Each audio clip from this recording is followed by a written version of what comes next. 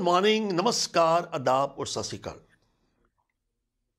सबसे पहले नव वर्ष की आपको बहुत बहुत मुबारकबाद। मैं हूँ आचार्य पी खुराना।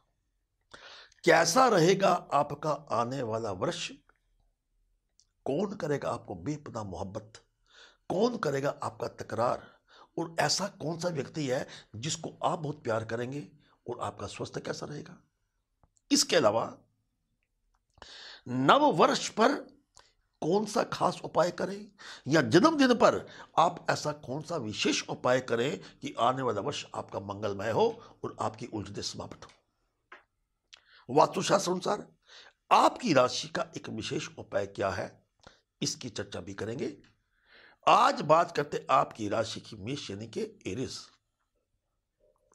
राशि स्वामी मंगल है। रंग आपका लाल है। गुण आप में ये है कि आप अपने आप में बड़े भावना वाले व्यक्ति हैं, उद्यमी हैं, साहसिक हैं। और अवगुण क्या है कि मतलब निकल गया है तो पहचानते नहीं, आप किसी को क्षमा नहीं करते। जहाँ तक कारोबार का सवाल है, कुछ महीने नोट कीजिए, फरवरी, अप्रैल, जुलाई और सितंबर आपके बिल्कुल अनुकूल रहेंगे।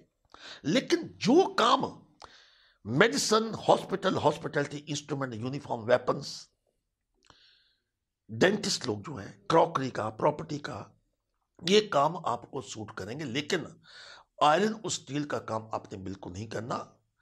हेल्थ के हिसाब से जनवरी, मार्च, मई और अगस्त में महीने आपको थोड़ा सा सचेत रहना पड़ेगा।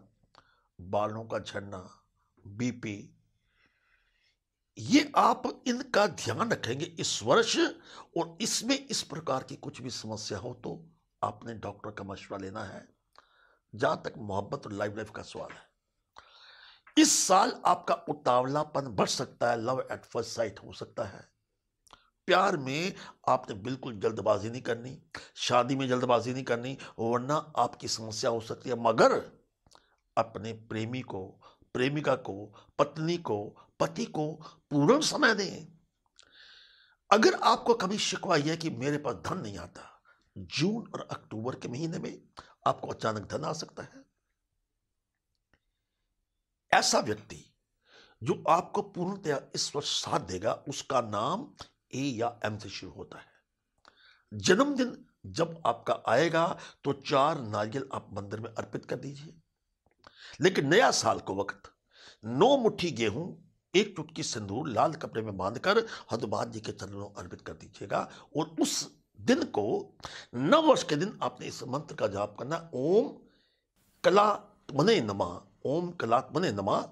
जब भी इस मंत्र का जाप करेंगे, नव वर्ष के दिन, नॉर्थ ईस्ट आपकी डायरेक्शन होनी चाहिए। माला स्वाटी की हो, आसन लाल कपड़ा हो। मगर,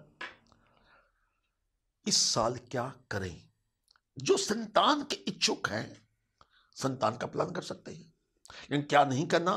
कानून की आपने बिल्कुल भी उल्लंघना नहीं करनी और सावधानी क्या है कि इस वर्ष खास तौर पे वाहन का प्रयोग आप ध्यान से करें, वरना दुर्घटना के योग बन सकते हैं। हमारे खास इस प्रोग्राम में हम आपको वास्तुशास्त्र का उपाय बता रहे हैं कि घर की पूर्व दिशा में सफ़ेद कागज़ के ऊपर सूर्य का चित्र बनाकर आप लाल रंग के फ्रेम में बनाकर अगर दीवार में लगाते हैं तो आने वाला साल आपके लिए बहुत ही कमाल हो सकता है। बाकी राशि के लोग, हमारे साथ जुड़े रहिए। नव वर्ष का भविष्यफल बिल्कुल आप जान सकते हैं एस्ट्रो इंडिया डॉट कॉम के ज़रिए। एक बार फिर हम आपके आने वाले वर्ष के लिए शुभकामना करते हैं कि आपका आने वाला वर्ष शुभ हो।